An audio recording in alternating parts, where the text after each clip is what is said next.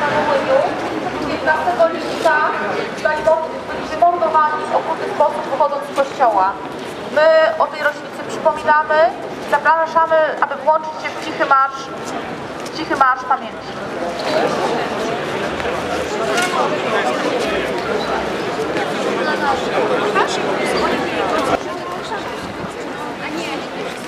No. Bo ona tak zmienia czyjeś zdanie, tak?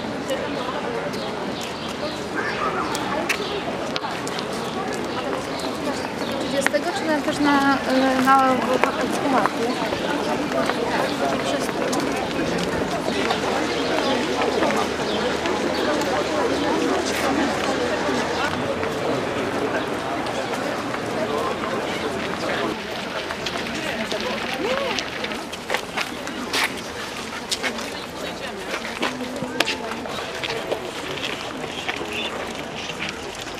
Nie uda nam się do pomnika, do pomnika podejść, ale ja będę rozmawiała z policją, żeby porozmawiała z ochroniarzami, którzy są tutaj gdzieś na budowie, żeby te kwiaty i te znicze przynieść.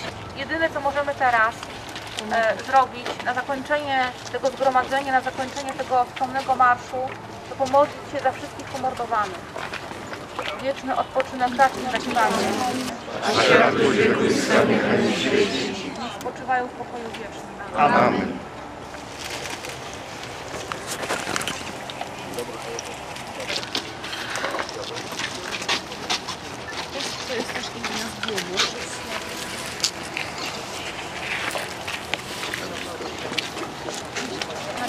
Nie byłem tak dawno.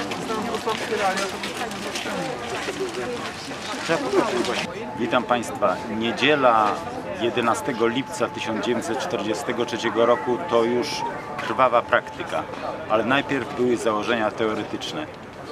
Tak jak Marx stworzył założenia teoretyczne w swoim kapitale, a potem na zbrodniczą praktykę przekuł to Lenin, jak Hitler w swoim Mein Kampf stworzył założenia teoretyczne, a potem nazizm wymordował miliony ludzi, tak też było na Ukrainie.